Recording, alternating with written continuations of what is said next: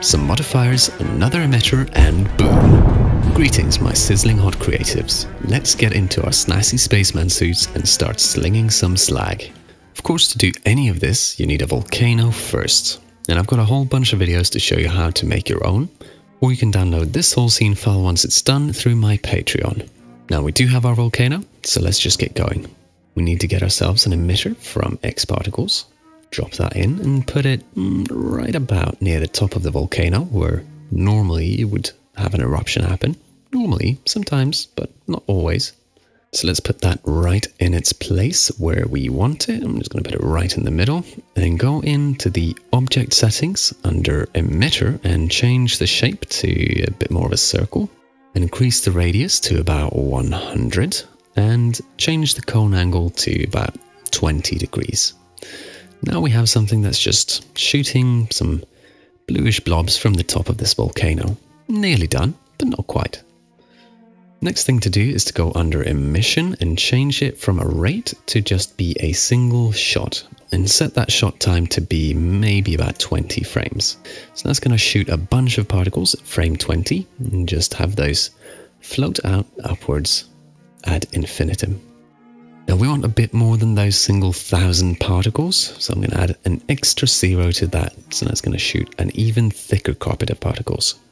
Now the lifespan of these particles, we want to change from full lifespan just down to 400 frames, so they do die after a while, and the variation of that lifespan to the full 400 frames, so they're really going to die at random times throughout. Speed we can crank up to about 500 and the randomness or variation of that speed crank that up to to good 300. Now finally in these settings we want to change the radius of that from about 3 down to just 2 and turn up the variation to a full 1.5 or thereabouts. So now I've got this shot, a little bit more of a an ice cream cone just shooting out of there. Bit better.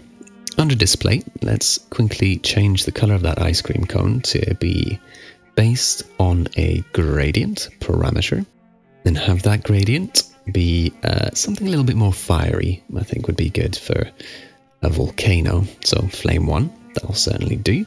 See what that looks like. Okay, okay, not bad. It is creating the particles at the very darkest point here first, and then slowly, since we've got the gradient parameters set to age, they sort of get brighter and brighter over time. And now it really does look quite like an ice cream cone. But we want the exact opposite of that. Mm, not the exact opposite of an ice cream cone, don't know what that would be, but the exact opposite of this gradient. So let's invert that and also distribute those knots so it's just evenly spaced. So now they should start quite bright and slowly sort of get darker and darker over time as they die. Finally, let me change these uh, from squares. And let me tell you, they don't look anything like squares to me. I mean, is that, are those squares? Mm, they look like circles. Anyway, let's change it from so-called squares to lines. Just because I think they look a little bit better. It's like having a motion blur on them. Alright, so that's our lovely ice cream cone. That emitter is now uh, fully set up and we can start doing some modifiers. Now the latest update of X Particles has these new Nexus modifiers. Basically the same, just start with NX instead of XP and they're a whole bunch faster. You can use whichever you like to do this. I'm going to stick with the old ones for now. First one we want is an XP Turbulence. And I'm going to make that a child of our emitter and zero out the transformations used to be reset PSR, now it's zero out transformations and is option zero. And then I'm going to give that turbulence modifier a field, so it just affects the area around my emitter. I'll make that one a cylinder field and put it on the z-axis. Change the height to about 50 and the radius to about 200, just so it keeps that emitter right in the center. Now, under objects, we want to probably crank up that strength a little bit. Right now, it just looks like this, pretty much the same old ice cream cone.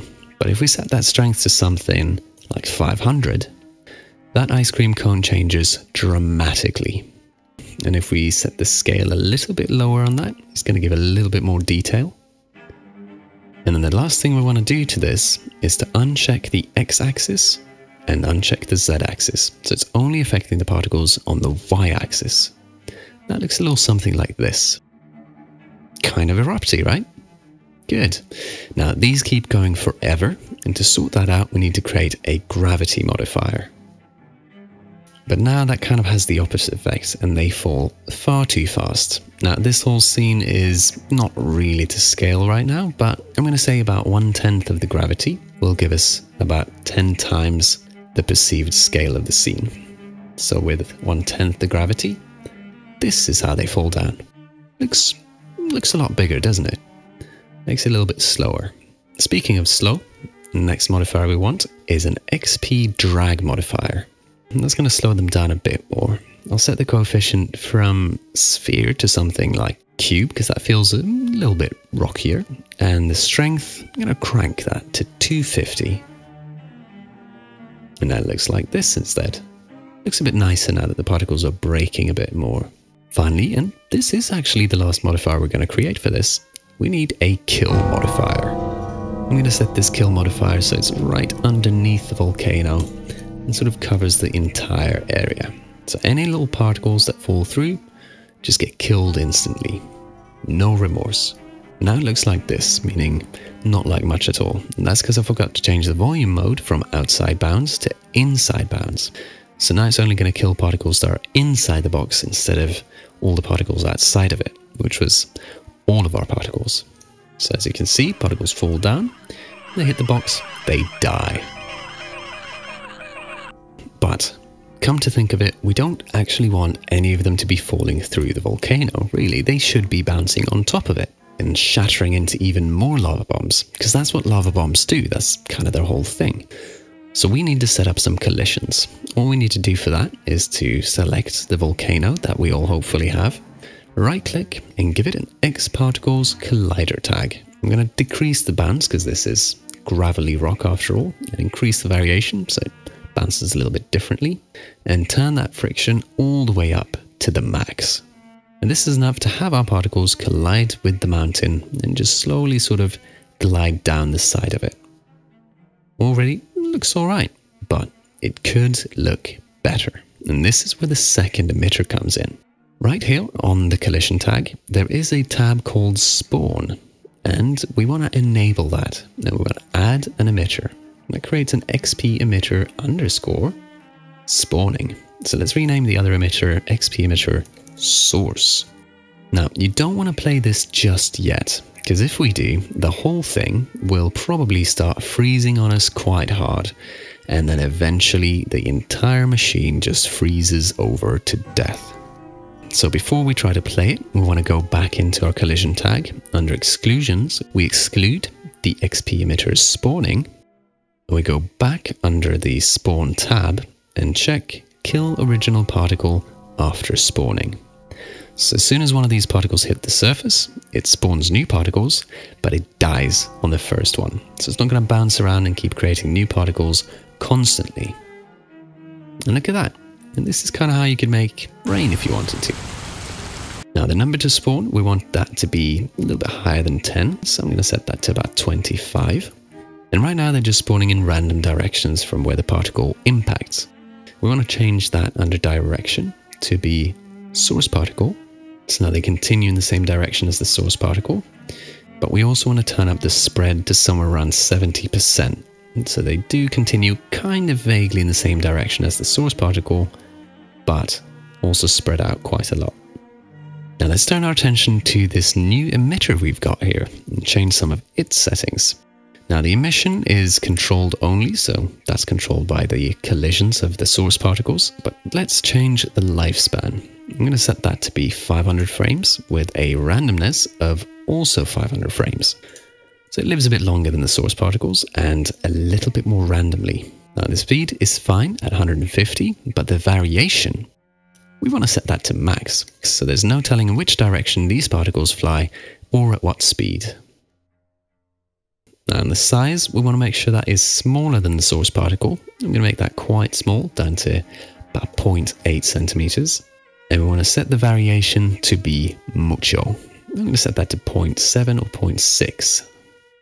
Finally, on this emitter, we want to go into the display settings and match that to our other emitter. So instead of squares, we want lines. And instead of single color, we want that to be gradient based on a parameter. Load up that flame one that we used, flip it and reverse it and distribute it. Okay, so let's have a look at this.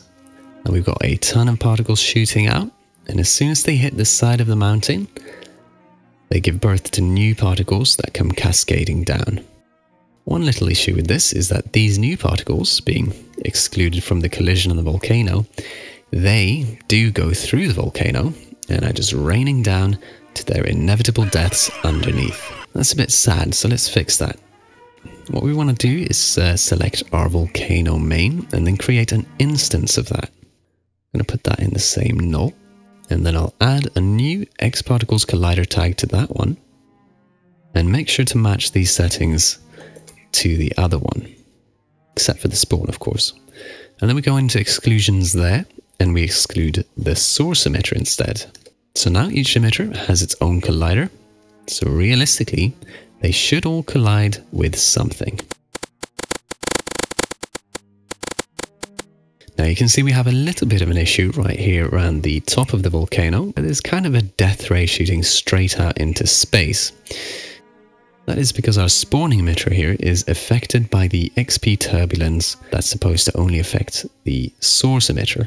So let's go into the spawning one under modifiers. We drag in the XP turbulence and this here blue wrong way symbol means that it's being excluded from this emitter. So let's have a look at that again. Now that is much nicer, but I do think it's looking a little bit fuzzy around here.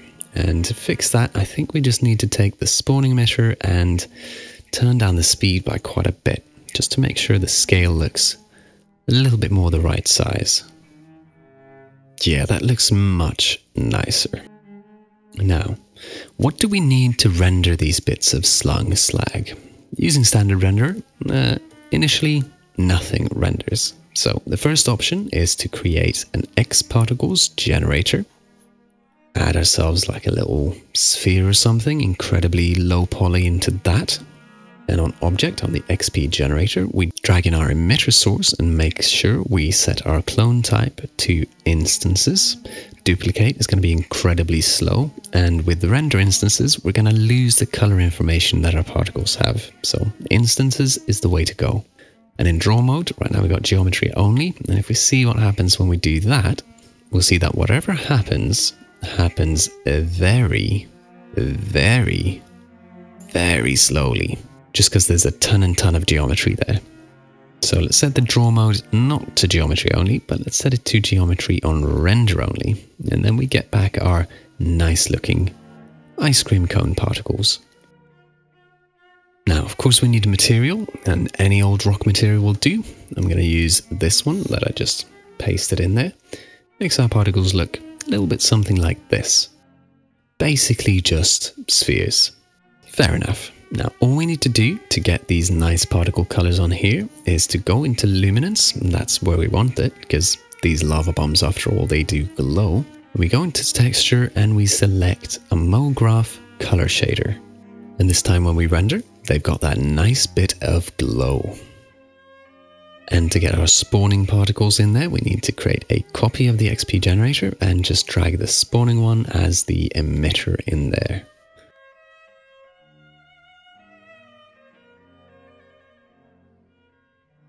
And this is what we get. Nice little lava balls casting light. Now this is a little bit slow to work with, but it is geometry, so it does anything you want geometry to do. But there is a much easier way. You could also, let's get rid of these XP generators for now. Could go into create extensions and simply create an X particles material. Add that to your emitters and instantly you've got particles rendering and a bit quicker. Now they might look a little bit flat by default and that is because the default illumination setting is set to flat. So if you want, so if you want some depth to them, you can set them to diffuse and then you get balls like we just had you can use self-illumination to give them whatever level of glow you want. Now this one is quick and dirty, but maybe not as flexible as we'd like. But both of those are good options for standard renderer. Now, if you want to render this whole thing in something like Arnold or let's say Redshift for instance, there is a third option. Let's remove our X particles material from there, and instead we add to both our emitters a render tag and a redshift object tag. And in there we can change the particles mode to probably something like spheres instances. And once again, if I open up a redshift render view and perhaps we go into lights and we get rid of the standard lights. And inside the redshift render view, we have got our balls back. Now, by default, without a material on, they just take on the colors of the particles, which, you know, looks pretty okay. But if you want to add your own material to these, like this crappy rock material, they forget everything about what color they're supposed to be. But to get that back, we simply go into the node editor and add a node called color user data.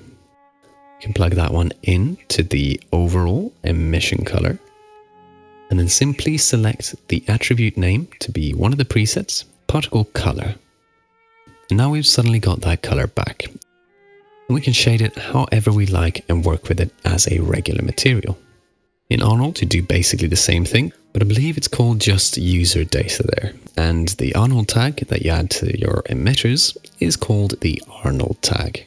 But now you're gonna have to help me out, because I don't know what to do next. Should we add some mad smoke sims to this in the next tutorial?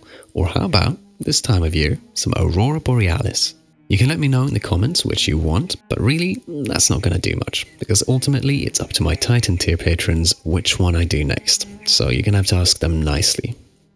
Big thank you to my patrons, especially the immortal ones, and to you all, stay in motion.